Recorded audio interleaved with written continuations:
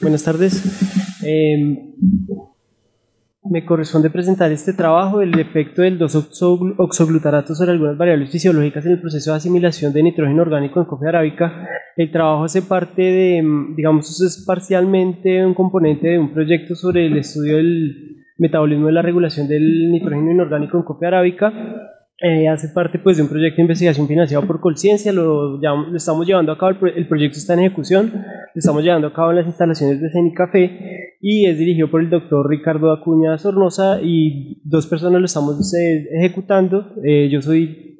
además estudiante de la maestría en Ciencias en Biotecnología de la Universidad Nacional S Medellín y este trabajo pues hace parte de algún componente de esa, de esa tesis de grado. Eh, como todos sabemos, pues el nitrógeno tiene un papel fundamental, digamos, en el desarrollo de, y el metabolismo de, de, todos los seres vivos, en particular en plantas, eh, pues tiene un papel fundamental en varios procesos, es componente de varias moléculas eh, estructurales importantes y hace parte de varios, varios procesos fisiológicos. Eh, se define el uso eficiente de nitrógeno como la, habilidad que tenga un sistema de usar el nitrógeno disponible para optimizar la productividad, en el caso de sistemas agrícolas, por ejemplo, eh, todo lo que tenga que ver con optimización de crecimiento, rendimiento y, contenido proteico. En plantas, pues eh, digamos que el nitrógeno pues es hay fuente de nitrógeno, digamos, natural y, aportada por el hombre al suelo. Parte de ese nitrógeno se pierde por procesos como los que están enumerados o nombrados acá a la eh, derecha de la gráfica. Otra parte de ese nitrógeno es eficientemente capturada por la planta, mucha de, otra parte no es capturada por la planta y de la parte de nitrógeno que es capturada por ella, pues una parte se aprovecha y otra se pierde por procesos fisiológicos como la eh, para, como los sistemas pues no son 100% eficientes, entonces hay que hacer una aplicación masiva de fertilizantes a, a los sistemas agrícolas. Eh, generando problemas de, contaminación, de polución y amenaza a los ecosistemas, se cree, se ha estimado que si ese tipo de procesos se llega a, mejorar en al menos un punto porcentual, eh, ese proceso de uso eficiente de nitrógeno, pues se tendría más o menos una ganancia eh, o mejor, disminuiría en las pérdidas económicas en más o menos ese orden que se indica ahí, del orden de un billón, un billón al año. En, caficultura, porque es importante el nitrógeno, pues es un, el café en general es una planta altamente dependiente de este, de este elemento. Eh, la buena fertilización promueve el rápido desarrollo vegetativo de la planta eso tiene que ver con el incremento del número de las ramas plagiotrópicas, estas son las ramas laterales que desarrolla la, eh, la planta de café, el número de incremento de nudos por rama y asimismo el número o el incremento en el número de los eh, nudos reproductivos que son los componentes principales de la, de la producción de la planta de café, es decir, los nudos que produzcan ramas, que produzcan flores y que a la vez se desarrollen en, en, granos, eh, que es el, el objetivo. Eh, el nitrógeno además en, café tiene un papel fundamental y es ayudar a protegerlo de un proceso fisiológico que es el proceso de la em, fotoinhibición ante la exposición eh, plena al sol. En Colombia se estima que el costo de fertilización eh, por, por, hectárea año oscila entre el 19 al 22% de los costos totales de producción y esto pues tiene consecuencias económicas digamos graves para el caficultor, sobre todo en, en momentos de coyuntura como estos de, de, valor de dólar alto y demás, pues porque la mayoría de los fertilizantes que ellos emplean, sobre todo los nitrogenados, son eh, importados. Mm, desde la disciplina de mejoramiento genético de, de Café hemos tratado pues de aprovechar el conocimiento que se tiene de la variabilidad genética que existe en el eh, pues eh, del conocimiento que, que, existe en variabilidad genética de café eh, pues basados en digamos en el banco de germoplasma que hace un rato explicaron más o menos en qué consiste un banco de germoplasma y el banco de germoplasma de café digamos que es, es bastante rico en información pues en valor y en información para nosotros nosotros hemos querido aprovecharlo y buscar información acerca de genes que tengan que ver en, proceso, en el proceso de metabolismo de nitrógeno en tres fases importantes, la absorción, la asimilación y la translocación. Básicamente nos hemos centrado en la fase de asimilación, donde existe una gran cantidad de genes ya caracterizados y en donde nos ha llamado la atención en particular quedarnos con eh, una familia de genes interesante que son los factores de transcripción, que son genes que controlan rutas em, de, cierta, de cierta importancia, en este caso rutas como la ruta de asimilación de, de nitrógeno. Este es un resumen gráfico de cómo en la planta se hace el proceso de asimilación de nitrógeno, básicamente señalar que tiene dos componentes, uno que tiene que ver con el de la reducción de los elementos, digamos, de los nitratos hasta eh, compuestos pues, más reducidos que al final se van a convertir en aminoácidos eh, esenciales y que van a servir de, digamos, componente para nuevas moléculas o biomoléculas de interés para la planta, pero que este proceso no es, digamos, único, sino que se depende de otro componente que es del metabolismo de carbono, en donde se generan unas moléculas como el 2-oxoglutarato, que son como esqueletos carbonados sobre los cuales se fijan las moléculas de nitrógeno para formar estos, estos aminoácidos eh, esenciales y, seguir con el proceso. Entonces, eh, señalar acá que eh, tiene que haber como una unión o como una convergencia de dos rutas bioquímicas para que se lleve a cabo ese proceso. Y señalar de nuevo el papel importante que juega esta molécula, el 2-oxoglutarato, en, em, en ese proceso bioquímico creemos, pues se ha demostrado que esa ruta, digamos que se compone de varias, de la función de varias enzimas al mismo tiempo, es regulada por factores de transcripción y que esos factores de transcripción en, plantas, digamos, tienen una, un protagonismo eh, concentrado en esta familia de genes que se llaman los factores de transcripción DOF. Eh, son relativamente, son supremamente bien caracterizados, tienen eh, entre otras, pues esas características que están enumeradas en la, en la diapositiva de una composición relativamente sencilla, lo que ha permitido pues su estudio de una forma muy eh, profunda. Existen caracterizados en muchas especies vegetales con muchas y diversas eh, funciones eh, metabólicas, muchas de ellas que tienen que ver con metabolismo de carbohidratos y de nitrógeno en varias especies. Y a nosotros nos llamó la atención eh, porque en uno de esos trabajos de caracterización funcional de, ese factor de transcripción se ha encontrado que em, un, factor de ellos en particular tiene que ver con la eh, correcta asimilación o la mejor asimilación de, nitrógeno en condiciones de estrés. En un trabajo en el que se transformaron plantas de em, de, maíz in vitro eh, por transformación genética, plantas de arroz eh, por medio de transformación genética se vio que unas plantas que estaban sometidas, digamos, a, a condiciones muy, muy limitantes de nitrógeno y que poseían el gen DOF en su, en su genoma, eh, pudieron sobrevivir de mejor forma respecto a las plantas que no tenían nitrógeno y que además presentaron eh, valores eh, muy favorables en cuanto a unos marcadores bioquímicos, bioquímicos como por ejemplo los contenidos de, clorofila, de proteína total, glutamina, glutamato y valores fisiológicos como, como peso seco, además de la actividad enzimática de las enzimas pues que estaban involucradas en el ciclo de asimilación también fueron digamos relativamente buenos respecto en plantas transformadas eh, respecto a las plantas que, que no lo fueron. Eh, otro dato que nos llamó la atención es que en otra especie totalmente distinta se eh, encontró una correlación en la expresión del gen DOF, de ese factor de transcripción, en tres em, variedades distintas de, de, esta especie de leucine coracana, siempre que el gen DOF se expresaba de una forma em, digamos diferencial alta, en, la, en la variedad que eso ocurrió, eh, presentó los mejores valores de, mm, de, por ejemplo, de ganancia de peso seco, de,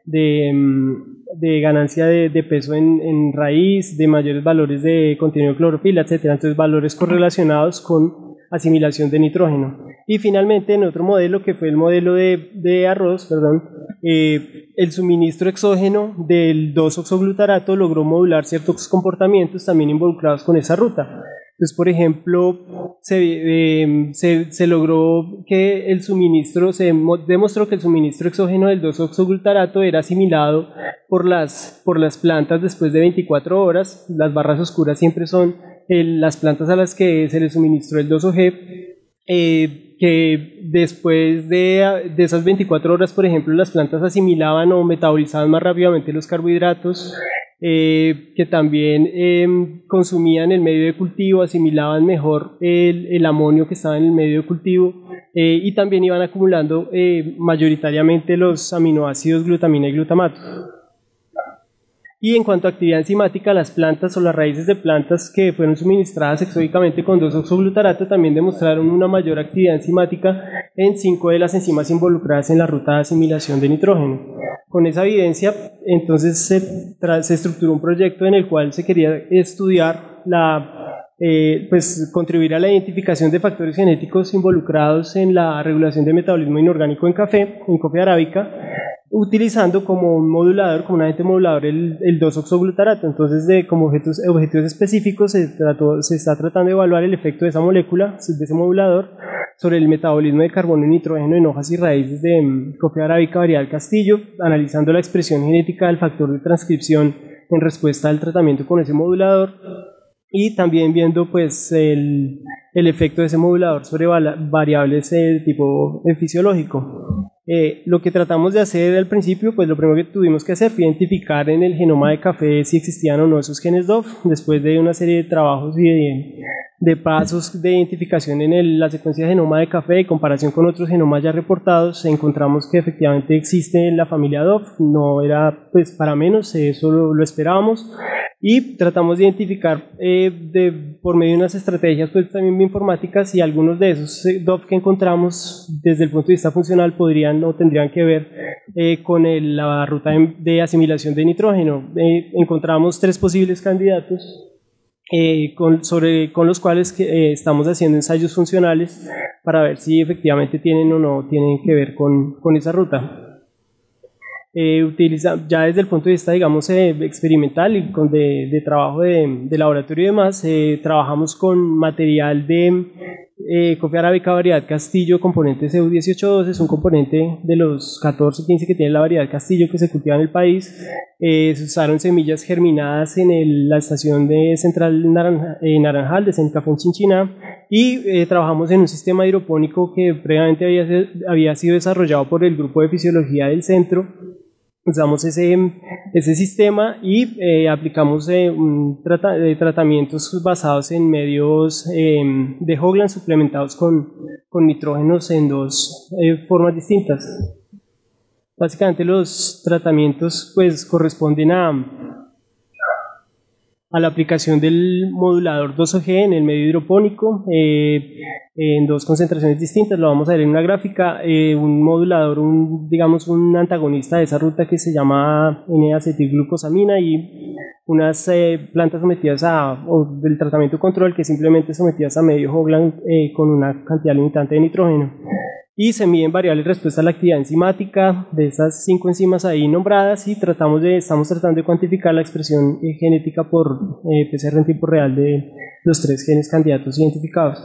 Este es más o menos un montaje eh, experimental. De una Quedan cinco minutos. De una de las repeticiones o de una de las réplicas del, del, experimento. Son cajas con 12 plantas cada una y cada una tiene eh, un cóctel, digamos, de, de, medio de cultivo compuesto como está descrito ahí a la, a la izquierda de la figura. Y el sistema en, en la casa de Maya se ve como, como ese que está acá. No se veía porque ya, ya, fue,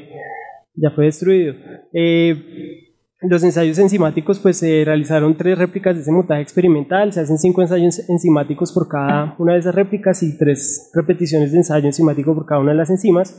Esos son resultados preliminares de actividad enzimática de unas de, de ellas, de cuatro de las cinco enzimas que se evalúan. Aquí apenas hemos podido ver escasamente unos comportamientos, eh, no digamos unos patrones esperados de actividad enzimática relacionados con la concentración del modulador 2OG, pero más o menos estamos tratando de dilucidar si la actividad, por ejemplo, de la exoquinasa en respuesta a la mayor concentración del 2OG es, digamos, em, em, algo, algo esperado respecto a los casos ya, ya enunciados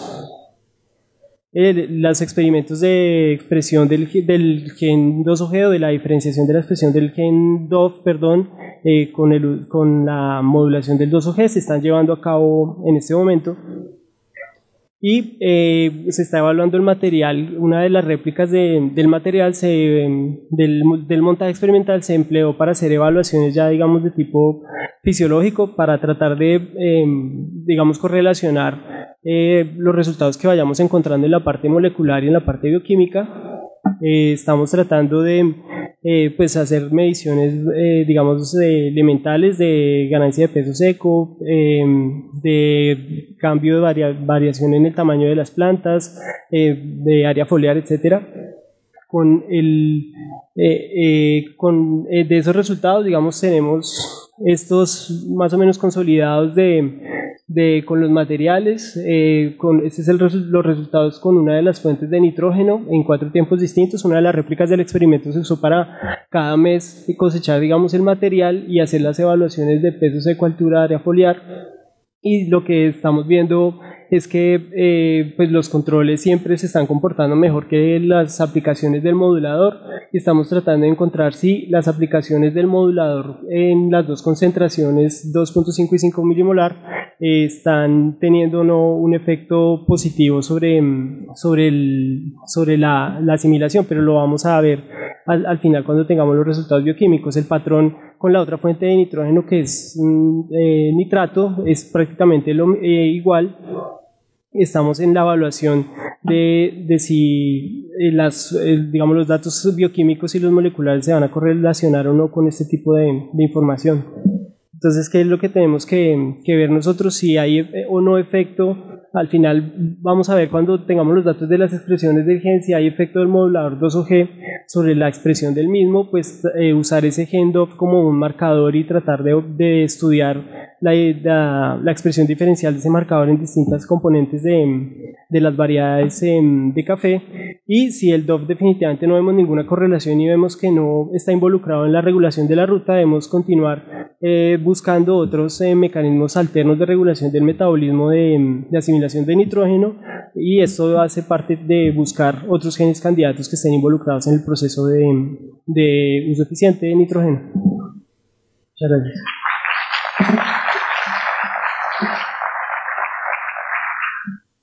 Gracias por tu presentación. Eh, mi pregunta va hacia los tres genes que tienes como candidatos. ¿Cómo piensan evaluar la función de estos genes? Pues eh, nosotros, digamos, encontramos que por, digamos, estrategia de informática que posiblemente esos genes tengan, tienen que ver con, con, con esa función. Eh, un material de uno de esos montajes que está sometido a uno de esos tratamientos que vimos en las figuras, o sea,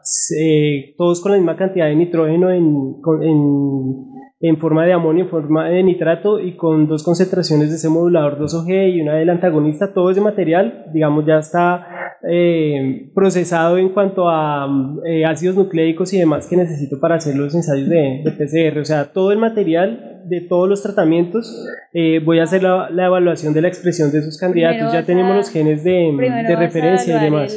Eh, por una QPCR. Exacto, por tiempo real, por tiempo real. Y ya hay tres, no los mencioné, pero ahí estaban los genes de referencia que estamos usando. Si la expresión de esos genes está activada, ¿qué, ¿cuál es el paso a seguir? ¿Cómo piensan evaluar esa función? Si nosotros vemos que el, que el modulador, que el 2OG prende, digamos, la ruta vía pues ese marcador que es el que tenemos a disposición, que es el que creemos que es. Eh, lo que vamos a hacer es buscar eh, variantes de ese DOF en los, otros en los otros componentes de las variedades del, del, del, banco de germoplasma de café y si somos capaces de identificar por medio de ese marcador cuáles de esas variedades son más eficientes que otras en, en usar nitrógeno. Ese es como el objeto final. Muchas gracias.